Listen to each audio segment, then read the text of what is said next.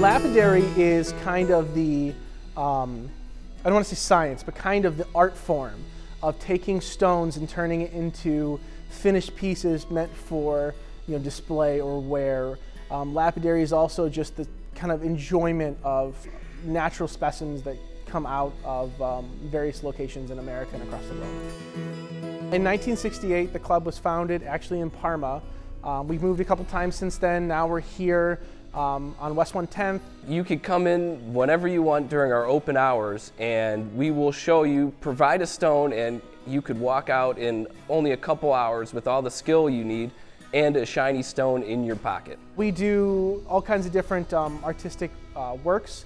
We make cabochons, we do faceted gemstones, we do silversmithing, wire wrapping, um, educational classes on minerals and, and, different things you can find in Ohio and around the United States and even around the world. Ohio is really well known for its flint, so you can definitely find some gorgeous pieces of flint in Ohio.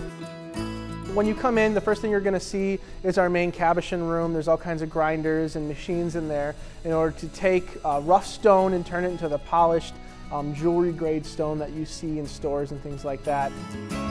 So people will actually take raw silver and turn it into either wire wrap pieces or actually complete uh, molded and um, shaped silver pieces, silver rings, uh, pendants, amulets, um, earrings, basically you name it, if it can be made out of silver, it can be made in there. In the glass room, we have people who will actually take uh, raw glass and actually heat it and mold it and shape it into um, objects and, and jewelry and pendants and things like that.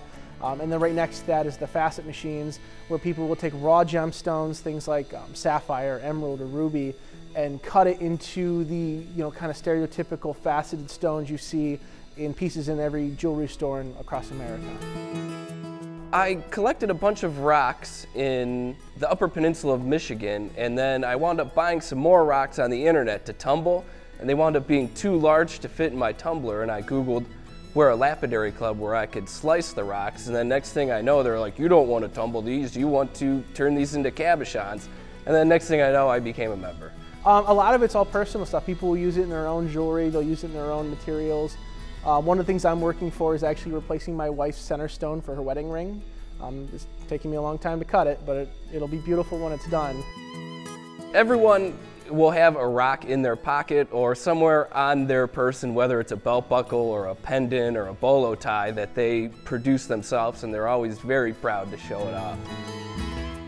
Uh, for me, I'm a huge fan of gemstones and faceted gemstones and things like that. Uh, and I really wanted to learn how they were made. I really wanted to learn uh, where all of the processes come in and this was kind of the best place to learn. I think it's a, a, really a mixed bag with who practices what. A lot of men seem to be more, they like grinding the stones and forging beautiful things out of rough. And then a lot of the women, they enjoy taking those polished stones and you know, wire wrapping. But we have, it's a mixed bag with everything. Everyone enjoys everything, I think.